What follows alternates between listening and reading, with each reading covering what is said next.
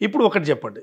మీ వల్ల మీరు పార్టీ మారడం చట్ట ప్రకారం మీరు పార్టీ మారినా మీ వల్ల బీఆర్ఎస్ పార్టీకి ప్రయోజనం ఏంటి? మీరు పార్టీలో చేరిన తర్వాత. అదే అడుగుతున్నా అదే పాయింట్ మా వల్ల బీఆర్ఎస్ పార్టీ అధికారంలోకి వస్తే ఏమైనా అనైతికత ఉండేది? మా వల్ల అధికారంలో రాలేదు. ఆల్రెడీ అధికారంలో ఉంది కాబట్టి అనైతికతకు ఇక్కడ తావే లేదు. ఓకే. అనైతికత తావు లేదు. మీరు చట్ట ప్రకారం చేరు ప్రజల వాగ్దానం కోసం చేరారు. ఇది బాగున్నది. ఓకే మీరు చెప్పారు మీ వాయిస్ చెప్పుకున్నారు. కానీ మీ వల్ల మీరు బీఆర్ఎస్కి రావడం వల్ల బీఆర్ఎస్ పార్టీకి ఏమి ప్రయోజనం? సుధీర్ రెడ్డి వల్ల బీఆర్ఎస్ పార్టీకి ఉన్న ప్రయోజనం వచ్చిన తర్వాత ఏమైనా ప్రయోజనం కలిగిందా? చెప్పిన కానీ మా మా మా ప్రజలు ఎదుర్కొంటున్న సమస్యలన్నీ పరిష్కారం అయిపోయినాయి. ఇంకో ఇరవై సంవత్సరాల దాకా కాకపోతుండే ఇప్పుడు అయిపోయినాయి. నాకు సంతృప్తి మిగిలింది. ఎస్ ఇంకా ఇరవై సంవత్సరాల దాకా కాని ప్ర- సమస్యలన్నిటి సో కూడా నేను పరిష్కారం ఏమంటే చేశాం. మీ మీ పార్టీలో ఒక చర్చ జరుగుతున్నది. మీ పార్టీలో జరుగుతున్న ఇంటర్నల్ చర్చనే నేను మాట్లాడుతున్నాను. ఇంటర్నల్ ఒక చర్చ జరుగుతుంది సుధీర్ రెడ్డిని బీఆర్ఎస్ పార్టీలో చేర్చుకోవడం వల్ల మనకు ఎటువంటి ప్రయోజనం లేదు.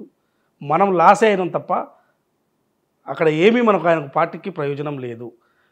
మొత్తం పన్నెండుకు పన్నెండు కార్పొరేటర్స్ ఆయన తీసుకున్న తర్వాత పన్నెండుకు పన్నెండు జిహెచ్ఎంసీలో మొత్తం మీదే మొత్తం మొత్తం ఓడిపోవడం జరిగింది. ఏం ప్రయోజనం జరిగింది?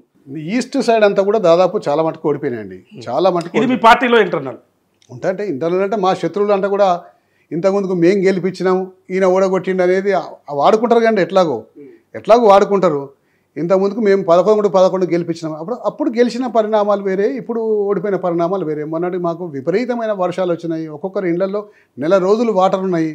నెల రోజులు వాటర్ ఉంటే బంధువుల ఇళ్ళలో పోయి తలదాచుకున్నారు బాగా నష్టపోయింది. పదివేల రూపాయల డిస్ట్రిబ్యూషన్ ప్రభుత్వం చేసింది.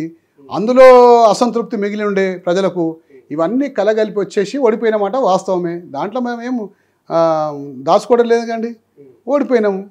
ఓడిపోయినాక మళ్ళీ ప్రజలు అప్పుడు అర్థం చేసుకున్నారు దాని తర్వాత. ఓడిపోయినాక పాత కార్పొరేటర్లను ఓడించడం పొరపాటు చేసినాము.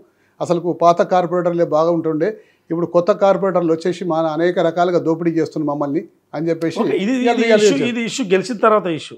కానీ సుధీర్ రెడ్డిని మనం పార్టీలో చేర్చుకొని పూర్తిగా నష్టపోయినాము. గతంలో ఇక్కడ అన్ని కార్పొరేటర్ గెలిచినాం. ఒక ఎమ్మెల్యే గెలవకపోయినప్పటికీ కార్పొరేటర్స్ మొత్తం గెలిచినాం. సో ఈయన తన సొంత ప్రయోజనం తాను కోసమే ప్రయత్నం చేస్తాడు తప్ప పార్టీ కోసం పనిచేయడు అది హండ్రెడ్ పర్సెంట్ తప్పండి. ఇవాళ పదకొండు సీట్లు నా దగ్గర ఓడిపోయినరు హైదరాబాద్ సిటీలో ముప్పై ఎనిమిది సీట్లు ఓడిపోయినరు దీనివల్ల ఎవరి వల్ల నష్టపోయిన సంగతి కనుక్కుంటే జవాబు వచ్చేస్తుంది. కాబట్టి కేవలం నా ఒక్కరి మీద బ్లేమ్ వేసి సుధీర్ రెడ్డి వాళ్ళు ఓడిపోయినట్టే దానికి నేను జవాబు చెప్పలేను అది రాంగ్ అని చెప్తా. మీరు ఇంతకుముందే చెప్పారు నేను ప్రజల కోసమే జైన్ అయినాను ప్రజల ప్రజల అవసరాల కోసమే జైన్ అయినానని చెప్పారు. అవును. సో ప్రజల అవసరాలు కూడా తీర్చాను చెప్పి ఇన్ని అవసరాలు తీర్చిన తర్వాత కూడా ఇన్ని అవసరాలు తీర్చిన తర్వాత కూడా ఇంత హామీ తీసుకున్న తర్వాత మీ పట్ల నమ్మకం ఉన్న ఇన్ని కార్పొరేటర్స్ ఎట్లా ఓడిపోతాయి? అప్పుడు మీరు అదే ప్రశ్న అడిగిన గుడ్ క్వశ్చన్ రెండు వేల ఇరవై నాటికి నేను వేసిన వాగ్దానాలు ఏ తీర్చలేకపోయినా. ఎందుకంటే నేను రెండు వేల పంతొమ్మిది మార్చిలో జాయిన్ అయినా. రెండు వేల ఇరవై నాటికి నేను నేను చెప్పిన ఏ తీర్చలేకపోయినా రెండు వేల ఇరవై ఒకటి నుంచి నేను చెప్పిన అన్ని కూడా తీర్చుకుంటూ వచ్చిన. ఎలక్షన్స్ అప్పటికి జరిగిపోయినాయి అప్పటికే కొన్ని రకాల మీరు అంటున్న వాదనలు బయటకు వచ్చినాయి.